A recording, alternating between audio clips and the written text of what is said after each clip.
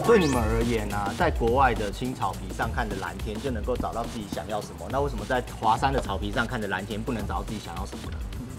第一个是我们不是只是纯粹的去度假，我们是去打工度假，我们在那里是一个长期的生活，然后体验他们当地的工作跟文化还有社会，所以不是只是单纯的旅游这件事情。不对，我的意思是说，换了一个环境就能够找到自己想要什么。那在花莲体验原住民的生活，你不也能够想到你回台北之后要做什么吗？不行，没有办法，因为你在国外的时候，你会遇到很多人是跟你有不一样意见的人，所以当你听到不一样的想法的时候，你就可以开始反思自己到底要。这个超级奇怪，意思就是去花莲跟你不一样。意见去花莲原住民意见都会跟你一样。不是，因为工程这个论点我分两个部分回应哦。第一个部分是我们在谈这个打工度假的重点在于跳脱你熟悉的环境到一个陌生的环境去工作，这件事情对于你的人生会有不同的冲击。第二个部分，打工度假这件事情，你也可以去琉球打工换宿。打工度假这件事情不是只有出国才可以打工度假，但是它有程度上的差别啦。那我们觉得，如果你讲的是一个到我完全陌生，比如说我到一个呃原住民族的地方，可能讲的我不熟悉的语言，是一个我不熟悉的环境，我们认为那也是一种很好的生活体验，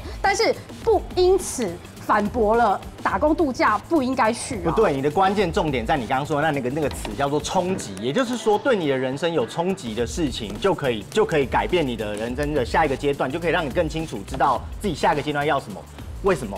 我如果现在去夜市摆地摊，我会觉得人生很充实。我如果要 找的不是我人生下一个阶段要做什么，我要找的是我的语言能力，我的解决问题能力。另外，我想要问一下反方，反方一直攻击打工度假的人做的事情都很不高尚，请问我们现在在做工作很高尚吗？一定有比那个割羊毛他们在打工度假的人做的事情高尚吗？另外，徐新阳，你说留学生打工度假这个。留学生做的工作比打工度假的人受的尊重比较高，我觉得这个这个非常政治不正确啦！哈，有多少人的家庭里面有这样的财力，可以让你当留学生，还让你去打工？那你认识多少人打工度假回来英文是很好？哎，我们的工作人员英文就不错，是吗？我不觉得。你本身英文工作人员啊？对啊，不好意思，米奇本身英文也不错，对，也是不错的。呃，所以为什么不能用留学？然后你能力如果够的话，直接去因为没有钱留学，没错，没有钱，没有钱读书有种东西叫奖学金。像你一样那么幸福生活，就算没有钱，可是为什么一定要到国外去找自己呢？我再回忆一下，就是可以去登山找自己啊，你可以去，你可以去践行，你可以去嘉明湖，都是一个找到自己一个人生体验的一个新的方式。我回忆一下反方的这个这个论点哦，这对方一直跟我们讲说，学习怎么跟羊讲话。对方一直跟我们讲说，哎，你这个东西有很多东西可以替代，为什么？非得要是这个，可是大家想一下，今天题目在讨论什么？今天讨论是我们要不要鼓励年轻人打工度假？就像我可以鼓励年轻人去看书，我也可以鼓励年轻人去运动。为什么你觉得有其他的方式的时候，就变成是你们要论证的是不鼓励年轻人去打工度假？因为这件事情相对危险性比较高，所以我们不鼓励。你说的事情危险性也很高。你说的事情 很多事情都呃做别的都可以代替，但相对来讲，在国外的打工度假危险性。相对高，我有朋友在澳洲打工度度假，车祸整个脸毁容。对不起，我有朋友在在爬嘉明湖的时候被救难人员救下来。这个到底要怎么论证？什么东西比较难？我没有叫，我没有叫。那没有关系，没关系，没关系。那我们总结一下，那反方今天的立场是不是？你们觉得打工度假确实有好处，可是这个好处呢，别的方式也可以替代。相对所以他的问题只在于你觉得打工度假很危险，是不是有风险？你认为今天的问题可以比较，因为你们这是很平衡的事情，就是越不熟悉越。危险，所以对你的生活冲击越大，越熟悉一点，越越越安全，对你的冲击相对小。我们只是取一个比较平衡的点而已。而且我们这样子有点不太对，因为以这个论点来说的话，那今天去 KTV 唱歌也很安全啊。所以不会有什么冲击啊，它不会对你的人生。我去健身房，我用走路的，所以我完全没有冲击，我走的很开心，很舒服。我有健身到吗？没有，是不是可以理解？跑嘛，我是不是可以理解反方今天的意思？是我们鼓励年轻人走一个安全、已知、保守的道路，是对年轻人比较好的方式。不是，因为我觉得不要用勇气，不要用一个过度华丽的包装去包装打工度假。像刚刚米奇说的，呃，我感谢我两年前的勇气，就让我出国。出国打呃打工度假，我觉得这会影响，对，因为我觉得这会影响很多人对 working holiday 的这个认知。就是你你感谢的勇气，为什么要勇气？这样就因为要从零开始啊。因为我觉得当你把自己丢到一个你也要勇气啊。可是你需要从零开始，你去摆地摊也要从零开始。可是你是生活在你是一个好的例子，但是有些人打工度假受到性骚扰、性侵害，甚至被剥削的痛苦台湾也会被性骚扰。刚刚讲的这些都没有错，确实我们不应该过度美化打工度假可以得到的好处。对，我们要让年轻人知道打工度假的风险有什么。可是这不代表因为大家不知道这个风险有什么，所以就不鼓励大家去。没有，所以换言之，这场比赛我们在辩论的事情是把你们的好处说出来，而我们所提的风险说出来，我们来做损益平衡嘛。对，所以我刚才问东城的问题是：你们认为这唯一的打工度假跟比如说在台湾打工，或者是在台湾工作，跟在台湾旅游，它唯一的差异在于你们认为这个风险是未知，你们为什么不认为风险太高？所以我们现在要讨，所以我才请问你们。对你们来说，你们鼓励年轻人的生活方式，是不是选择一种已知的、安全的、保守的道路？没有那么对你们来说，才是对年轻人最好的选择。不是，但是就你们刚刚阐述的打工跟度假，如果你需要学东西的话，打工跟度假在你们价值上是冲突的。可以打工，或者是我说的直接去工作。你如果能力够强的话，直接用工作签证，不是打工签证，本身就是去工工作，对啊不是打工。刚刚就已经有解释过，英环还好吗？你我我认为 Working Holiday 的 Visa 跟一般的就业 Visa 是完全不一样。我认为 Kenny 不需要去帮那些想要打工度假的人去区分他去做这件事情的目的到底是什么。他可能想去赚钱，可能想去工作，想要同时赚一点点钱，又想要学语言。我们不需要去这么明确的为他说，哎，你要去学语言，你就给我去学语言。你要去度假，你就去度假。学语言。不是，不是，我要是要讲说，其实你做某一每一件工作，它都有一个背后的意义，并不是在你表面上看到的那么简单。所谓的冒险这件事情，其实我们要鼓励的是年轻人要去有冒险泛滥的心，因为本来像我们现在人在台湾这个环境，就是因为大家太安逸了，没有办法去突破，没有办法去冒险。可这是年轻人需要的吗？不是，他们应该要去冒险去泛滥。冒险不需要打工度假，冒险不需要。我们不否认需要冒险的精神。出国出国工作，去出国度假，我们全部都支持。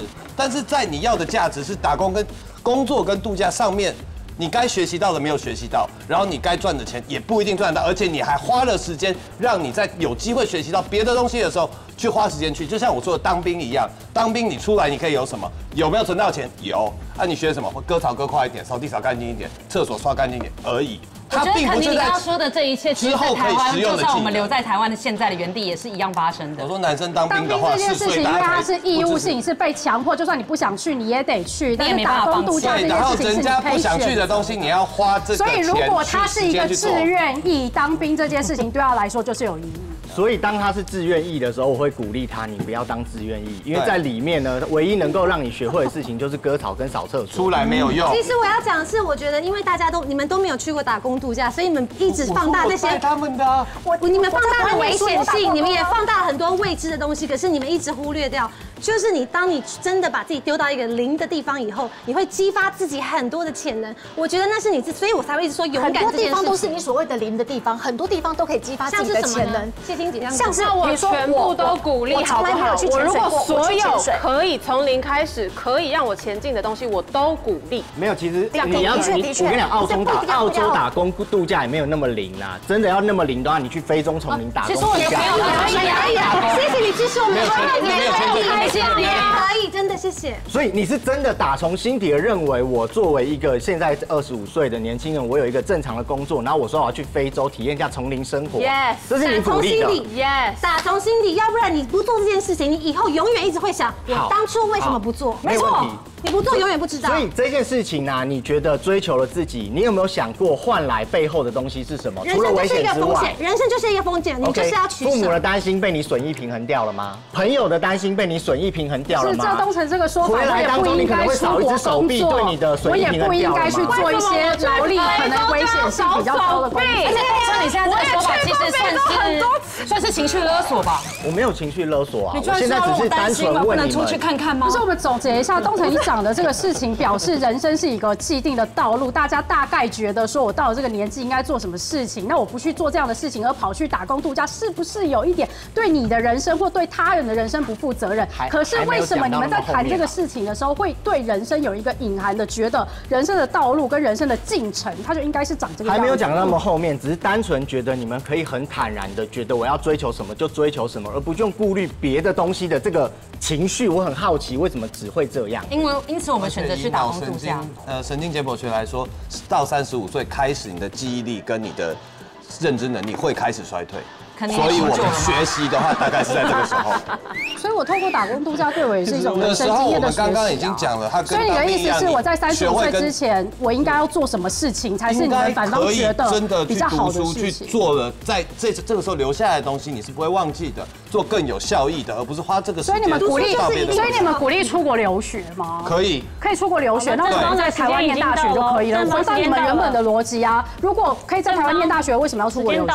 原因是因为你要回到我们习惯现在讲的打工度假的样态。不要跟我说英文 working working holiday 的定义。事实上，在台湾针对台湾年轻人要去打工游学的这呃打工度假的这个样态，大家都心知肚明。就是相对的，你会到一个高收入的国家做比较高。危险跟高劳力的工作，而这个样态才是我们今天这场比赛主要讨论的，不是吗？而且你在做工作的时候所习得的，或者是几乎它是没有技巧性的工作，让你没有办法在之后的人生它是实用的。当你回来的时候，你消耗这两年，在超过三十五岁的时候，它是补不回来的。我认同。